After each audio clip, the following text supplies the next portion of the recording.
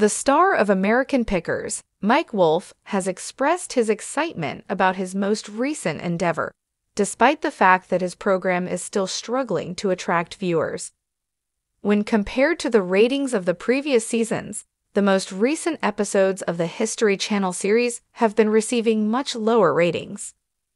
Most recently, Mike, who is 59 years old, published a message on Instagram in which he informed his fans about a significant initiative that had been in the works for a year. In the photograph, he was seen standing next to Jared Swartz, who Mike referred to as the motorcycle whisperer from southern Missouri. While the two were posing alongside an orange bike that Jared had repaired, the American Pickers star began to describe how he had brought it back to life. I gave him this bike a year ago so that he could give it a breath of fresh air. According to what Mike said in the caption, he brought this original paint 1937 Indian back to life and today back to me. The gauntlet gloves and goggles had been propped up on the seat of this bicycle for decades, waiting for the owner to come back and get them. I have had a sense of connection ever since I have possessed it. I consider myself quite fortunate that Jared has agreed to take on this project, since he is well aware of the significance of what he is doing. I can't wait to loose myself on a back road on this old gal, he said in his conclusion. Alterations and ratings. Earlier this month, American Pickers had a sudden shift in their timetable, which coincided with the announcement of Mike's new position.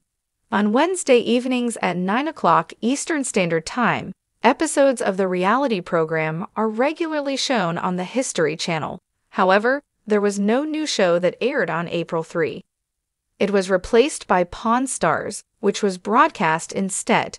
Fans expressed their disbelief at the unexpected absence, with one fan posting on the program's Instagram account, was ready to watch the new show, but nothing was on. What's going on? American Pickers has been seeing a decline in ratings during the whole of the current season, which coincides with the sudden shift in the show's schedule. In December, the launch of season 25 included Mike, his brother Robbie, who is 57 years old, Danielle Colby, who is 48 years old, and Jersey John, who is 60 years old.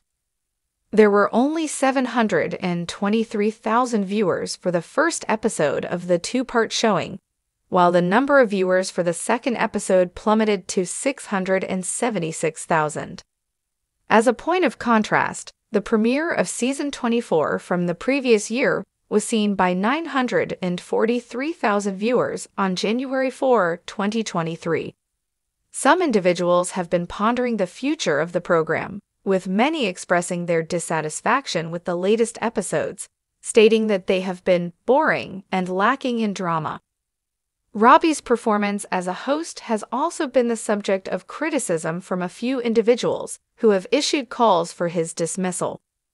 Former co host Frank Fritz, who was 58 years old at the time, was fired from the network in 2021 due to his struggles with his health. Robbie took over for Fritz. Even though the program has received mixed reviews, it was recently disclosed that it was shooting fresh episodes, despite the fact that there were some criticisms.